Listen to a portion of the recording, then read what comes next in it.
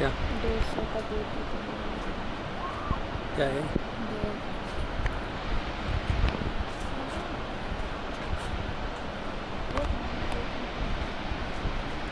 तो इसमें कुछ जाती है